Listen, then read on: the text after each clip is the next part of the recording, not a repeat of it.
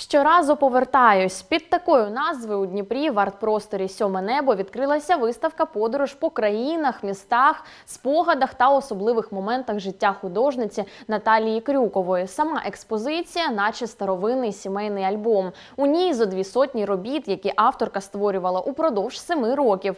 Мисткиня каже, ця виставка її щоденник. Усі малюнки та скетчі виконані у різних техніках. Подорожували спогадами художниці і журналісти відкритого. Замальовки, дорожні нотатки, акварельні та графічні скетчі.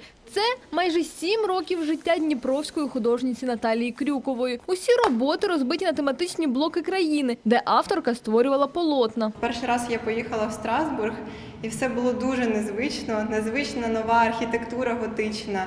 Ніколи такого ще в житті не бачила, і мені хотілося цей момент якось зафіксувати. Е, І так все і почалося. Карандаш і блокнот це дуже легкі речі, які можна завжди з собою взяти, навіть в похід. Олівець, пензель, маркери та ручка це інструменти, за допомогою яких авторка створювала свої роботи. Та найбільше художниця тяжкі до ручки, бо з неї каже, немає права на помилку. Починала я з олівця, але в одній з подорожей французький студент е, сказав мені, буквально заставив малювати ручкою. Сказав, що його викладачі кажуть, е, е, що так е, чіткіше передаються думки на бумазі. Це перша виставка Наталії. Підтримати художницю прийшла її матір. Жінка ділиться, любов до мистецтва виплакала в доньки в дитинстві. Ребенок э, любил рисовать с детства. С шести лет мы ходили уже на подготовительные курсы в художественную школу. Ну, немножко как бы приучали систематическому рисованию. А потом у нее уже интерес проявился. На полотнах гама почуттів. Авторка каже, занотувала моменти життя, де і переживання, її думи. Саме у цій виставці не тільки, скажімо, художні принади її робіт, але і ті коментарі, які на них є.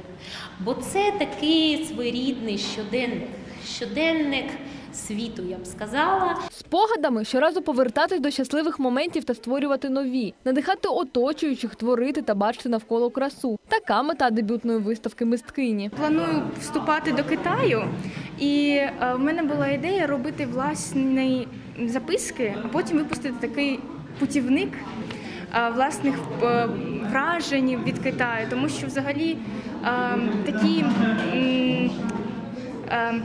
Як сказати, такі думки вони е, цікаві не тільки ну мені. Мені здається, що багатьом людям цікаво дізнаватися щось нове про іншу країну. Виставка експонуватиметься до 1 березня. Відвідати її можна щодня з 10 до 18. Вхід вільний. Анастасія Вільхова, Максим Мещеряков, Open News, телеканал відкритий.